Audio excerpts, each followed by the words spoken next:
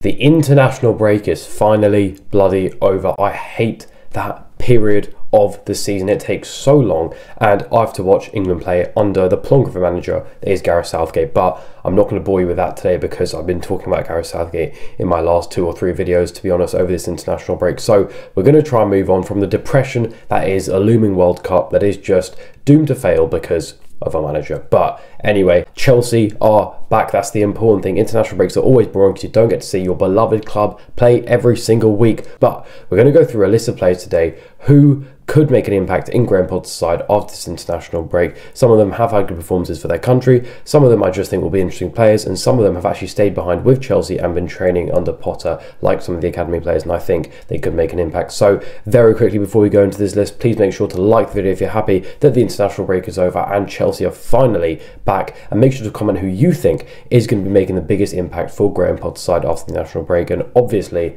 as always, make sure to subscribe as we try and get closer and closer towards 2,000 subscribers. But without further ado, let's get into the video. So as always, the best place to start is from the back. But by the back, I don't mean the goalkeeper, I actually mean from the back of the international break, from the beginning of the international break, because the Saturday of the international break, when it just started, Chelsea played an in house game because our game was postponed, of course, I believe, against Liverpool. We did an in house game against Brighton at Brighton Stadium. And the important things to pick up from that game for me were that, well, firstly, we'll talk about a player who managed to score a brace in the second half later in the video, so make sure to stay about for that. I'm sure you know which player I'm talking about. But two players that played in very interesting positions during that game. There's Loftus Cheek and Trevor Chalobah. Now, they also happen to have not gone international duty, meaning that they have trained under Graham Potter for about the last three or four days because they did get some days off, meaning that they had much more focused training with Graham Potter during the international break. So, in this in house game, reports have stated that Chalobah actually played as a six in this game, as a defence midfielder, a position that Chelsea do definitely need to fill. And a lot of fans have been clamouring for Chalobah to at least be given a chance in this role. So it's very good to see him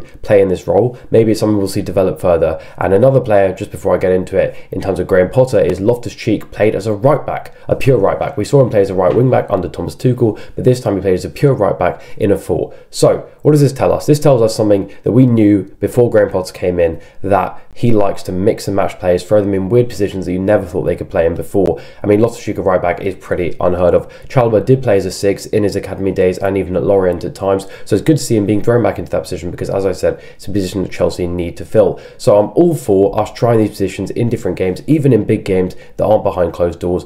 Now, I do have reservations over Chalobah's passing, whether it can fit a DM role, but as a destroyer, we all know how good he is with a tackle. He's very mobile with his height. And Loftus Cheek is right back, you know, I'm not going to make any judgments because I really do need to see that first. I'm not sure his defensive awareness is really good enough for a right back, but it'll be interesting to see how those positions and those players filter through after the national break. Now we're going to go into two players that have been training with Graham Potter over the last four days from the academy that have had a chance to impress.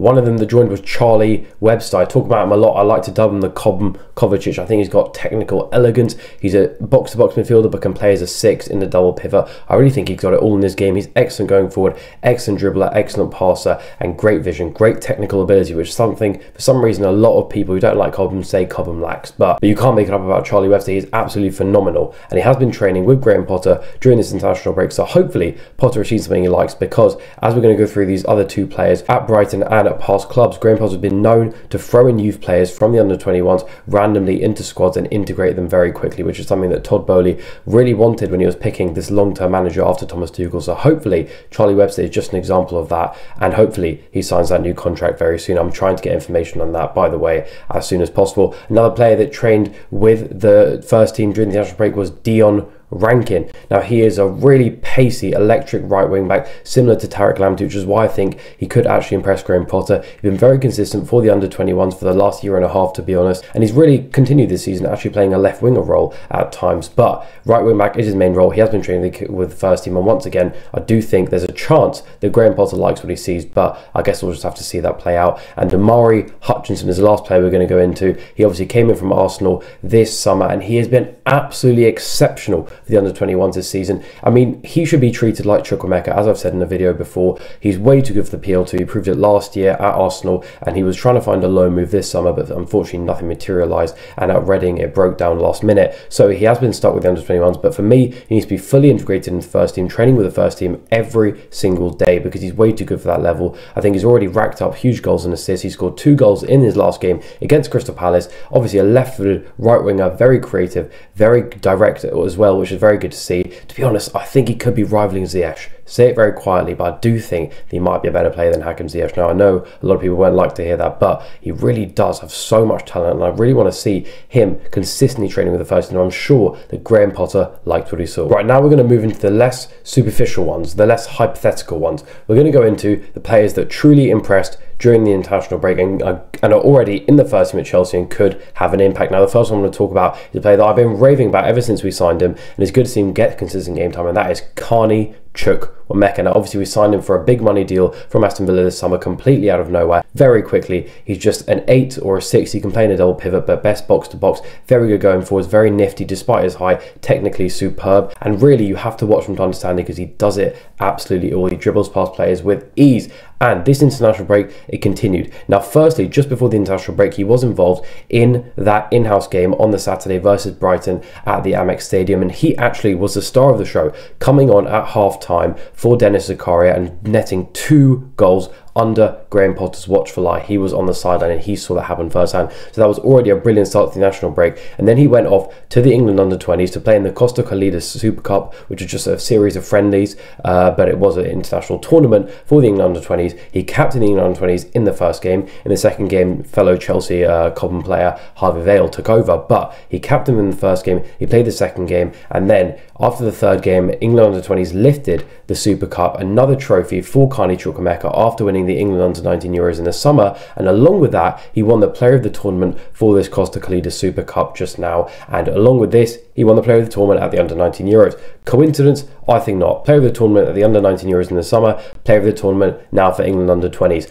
Won both tournaments as well. This guy's a serial winner, so talented. Anywhere, just go look up his highlights, you'll see it anywhere. I really hope it's not just first team training now for the next few months. He truly is integrated into minutes, playing for Graham Potter's side. He fits any of the eight roles in the midfield that Graham Potter wants to use. And to be honest, he'll fit any role you want to put him in because he's hungry and he wants to play. Get him into the team and give him some minutes, Graham Potter. Now we're going to talk about another player that played in the youth side during the national break, and we're going to talk about very briefly. It's Conor Gallagher, playing for the England under 21s during the international break, and he was actually very good for them. But he wasn't exceptional. He wasn't, you know, litting the stage like he did score one goal he did win a penalty. But for me he was always going to perform the England under 21s because he's much too good for that level. The important thing for me to see was him playing in a much more advanced position for England. And that's something that I noticed at Crystal Palace I've noticed in his past low moves and hopefully Graham Potter notices it unlike Thomas Tuchel. That wasn't just a slide dig but Tuchel was playing him as part of the double six. And hopefully Graham Potter realises that his real qualities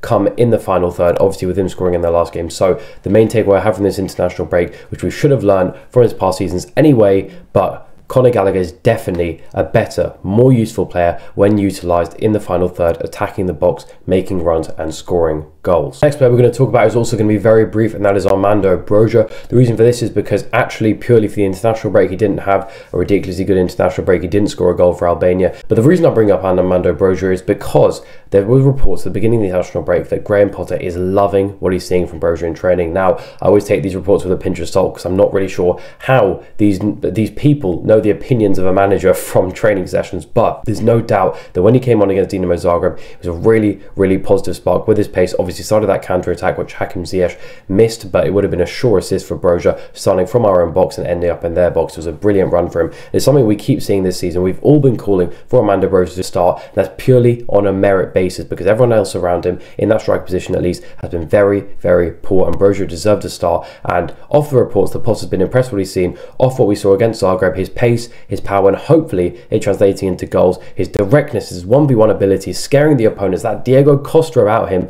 I do hope that he's utilised more going forwards in Graham Potter's side. He's not just reduced to bench appearances. I want to see him get that start, get that trust, and playing under Graham Potter. The next player we're going to talk about is Mateo Kovacic. He had a very positive international break for Croatia, playing in both their games in this international break. He completed, I think, around 85 minutes and 75 minutes in both games, which is good and bad because it allows him to build up his fitness. However, it is still quite a lot of fitness, so it puts a bit of risk on him getting re-injured. But hopefully we are really really tight with Kovacic. We don't let him get himself re-injured because for me he's our most important midfielder. And the reason I bring him up is because I've spoken a couple of times before. I do really see him filling that Mac Allister role at Brighton when Potter had a really fluid six in Mac Allister, who was naturally a 10 dropping deep to pick up the ball as a deep line playmaker and then attacking the box. Now attacking the box maybe isn't Kovacic's best attribute but in terms of progressing the ball as a deep line playmaker and also having slightly more 1v1 ability and dribbles, unlike Mac Allister, I think he could really be used in that mobile six role. So I just thought I'd drop that in here. I do expect him to be used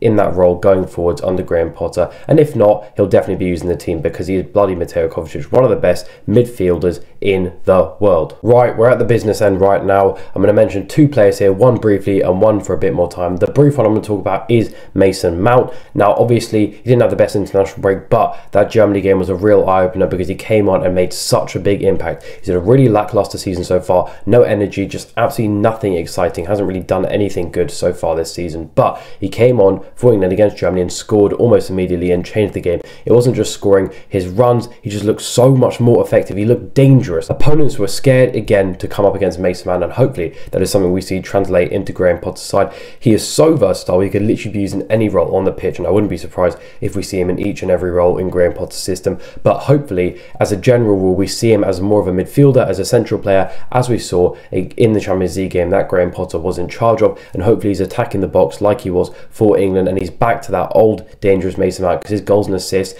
as much as his performance is and his tenacity, his goals and assists are very important to the team. So hopefully, he can bring that back under Graham Potter. The last player we're going to talk about is Kai Havertz. Now, it's obvious because we all saw his absolute masterclass at Wembley against England. He was absolutely brilliant. That goal was a masterpiece. It should be up in the Louvre. He literally got the ball from outside the box, finessed it top bins like it was FIFA, but it was an absolutely beautiful goal. And obviously, he scored another one too, but that was a tap in. He had a very good game. Now, the important thing about this game was not just the confidence of Kai Havertz, the beautiful goal, the strike that we haven't seen him do a single time at Chelsea. I don't think I've ever seen him shoot from outside the box and actually be successful. It's usually late runs in the box that gets him his success. So hopefully that is something we see more. But it was about the position that he adopted, a much deeper position than we've seen at Chelsea so far. At Chelsea, he's mainly be used as a main striker, which is something he's talked about himself, saying it's not a natural position. But I think it's clear now that he has to be used as that second striker or even as a 10 slightly deeper because picking up the ball in these pockets, moving the ball around, being fluid, dragging defenders, and actually picking up the ball himself and dribbling. And now, hopefully, this new striking ability that we saw against England with his new confidence is something that we can see flourish under Graham Potter. Graham Potter is an absolute tactician. He gets players in their best roles and gets the best out of them, maximum output. You saw players like Leandro Trossard, Pascal Gross getting ridiculous numbers for their quality before Brighton. Hopefully, that is something we see with Kai Havertz using a more optimal role, deeper role, freer role, one that he can actually express himself as the footballer he is, rather than being limited as a number nine, which he isn't, because he's much more tactically, technically elegant than that. So hopefully, that is something we see manifest itself more and more under Graham Potter. So there you go. I do hope you enjoyed this video. Honestly, all in all, I'm just so happy to see Chelsea back because a new era under Graham Potter and finally can get put into full flow before the World Cup in Qatar, which I already said I'm not excited for at all. But make sure to let me know in the comments who you think out of my list is going to have the most impact at Chelsea. And if you think someone who I haven't mentioned is going to have a huge impact after this international break, make sure to leave them in the comments. And once again, please like the video, it helps me so much. And obviously, subscribe. And I will see you next time.